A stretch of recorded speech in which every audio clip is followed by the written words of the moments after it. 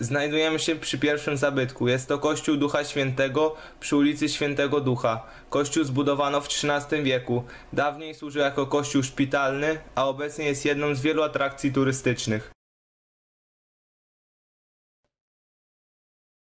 Stoimy przy dawnym wejściu do Chełmna. Brama Grudziącka jest jednym z wielu zabytków, które chcielibyśmy Wam pokazać. Pierwotnie brama ta istniała jako wieża, do której po obu stronach przylegały mury obronne.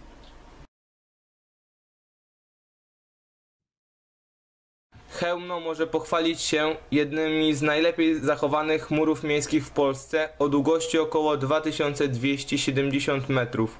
Znajdują się w nich wiele kul Szwedów, którzy polegli podczas bitwy.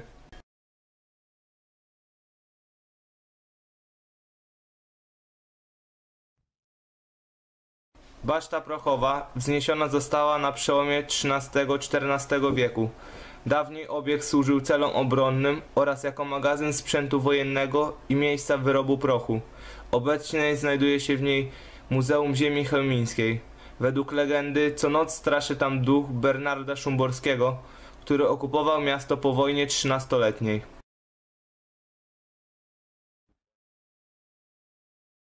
Stoimy przy dawnym klasztorze cysterek, następnie benedyktynek, obecnie sióstr miłosierdzia przy ulicy Dominikańskiej.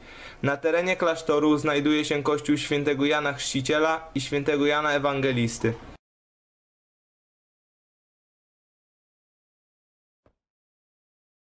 Kolejnym zabytkiem, który chcielibyśmy przedstawić jest XIII-wieczny kościół w niebowzięcia Najświętszej Marii Panny, zwany potocznie Farą. Fara to największy kościół w Chełmie. Wybudowany został w stylu gotyckim. W kościele znajdują się relikwie świętego Walentego, które zostały przekazane przez Jadwigę z Czarnkowa w XVII wieku. Dzięki tym relikwiom Chełmno zostało nazwane miastem zakochanych. Ostatnim zabytków jest kościół świętych apostołów Piotra i Pawła. Kościół powstał na początku XIII wieku, jego budowa ciągnęła się jednak przez niemal 100 lat. Początkowo był to kościół dwunawowy, w XVII wieku podwyższono ściany nawy głównej, przekształcając świątynię na układ bazylikowy.